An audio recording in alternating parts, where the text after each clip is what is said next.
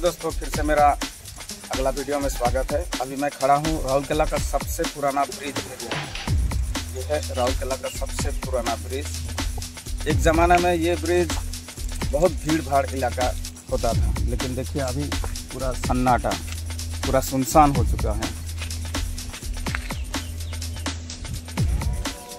जो कभी ये एनएच नेशनल हाईवे हुआ करता था लेकिन अभी देखिए ब्रिज का कंडीशन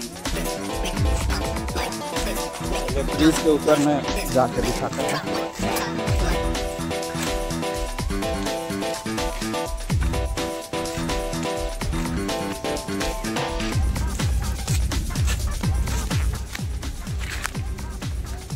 ये था कभी नेशनल हाईवे का ब्रिज था, देखिए। एनएच का ब्रिज।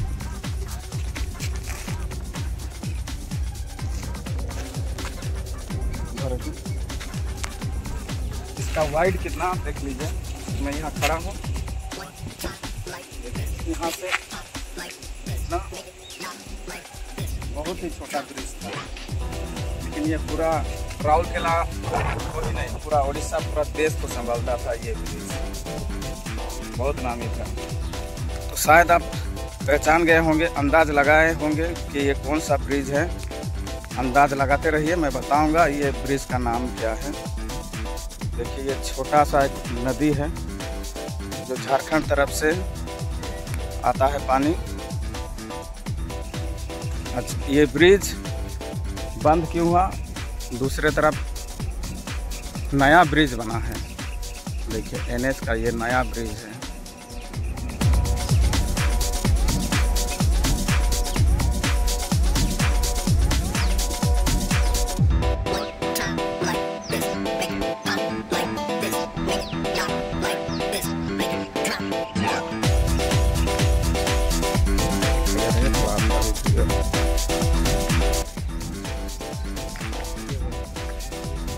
ब्रिज का नीचे में थोड़ा जाके देखते हैं इसका खूबसूरती। अभी भी इसका खूबसूरती बहुत।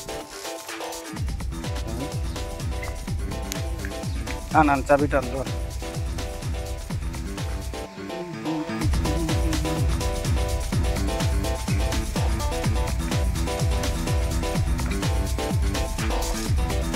तो चलिए, अभी मैं बोल देता हूँ, शायद आप सही अंदाज लगा लिए।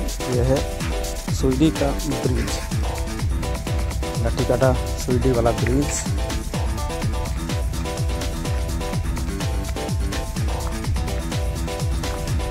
शायद अगर मैं गलत बोल रहा हूँ तो प्लीज़ कमेंट में बताइएगा।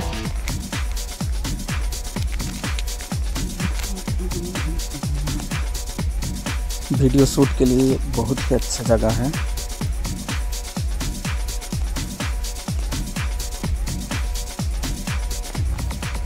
पिकनिक का टाइम में यहाँ पिकनिक होता रहता है।